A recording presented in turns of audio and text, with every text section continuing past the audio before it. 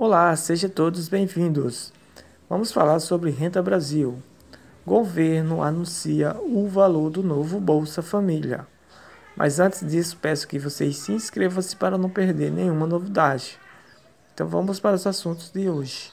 O Renda Brasil é o programa social que irá substituir o Bolsa Família e terá previsão de pagar 250 a 300 mensais aos brasileiros de baixa renda. Então vamos abrir o vídeo para te explicar melhor.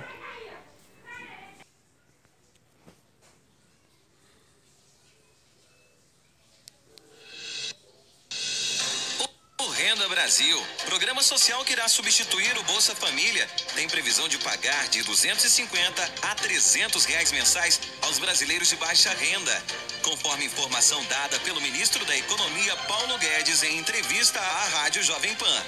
O novo programa irá unificar uma série de programas sociais. Com isso, o governo federal terá uma única política de renda básica.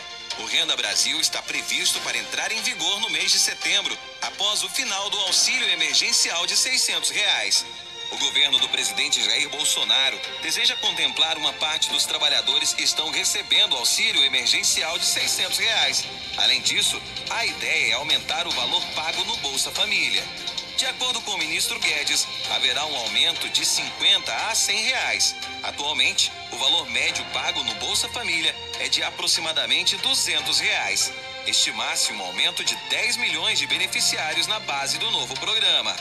Unificação de benefícios. O ministro da Economia informou ainda que, abre aspas, o auxílio vai começar a descer e vai aterrissar no renda básica vai juntar o abono salarial, o Bolsa Família, mais dois ou três programas focalizados e vai criar o Renda Brasil, que vai ser acima do Bolsa Família, fecha aspas.